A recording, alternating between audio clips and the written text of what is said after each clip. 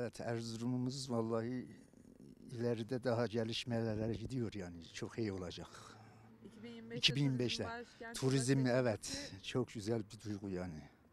Memleketimiz daha iyi ileriye gidecek inşallah. Bundan ilgili ne düşünebilirim ki? Dünyanın en güzel bir şeysi. İşte dün yaşadık. Katar'da olan bir dünya şampiyonusu, bir futbol. Bir Katar'ı işte dünya oraya gitti. Şimdi dünyada bir Erzurum'a gelsin bakalım. 2025'te Yani- turizm başkenti oldu memleketimiz. Çok sevindik. Şahsım adına çok sevindim. Teşekkür ediyorum. Özellikle Cumhurbaşkanıma ve Mehmet Sekmen'e candan gönülden teşekkürlerimi sunarım. Turizm başkenti olmamızı neye bekli- bağlıyoruz? Mehmet Sekmen'e bağlıyoruz. Şu güzelliğe bak, şu güzelliğe bağlıyoruz. Şuralara bak. Eskiden buralarda insanlar gezemirdi. Bak üstten aşağı kafile geliyor. Onlara bağlıyoruz.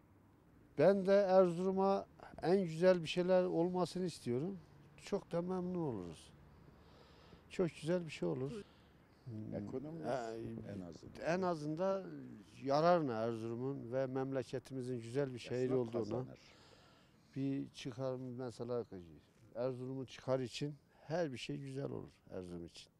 Teşekkür ederim Cumhurbaşkanımıza, e, belediye başkanımıza,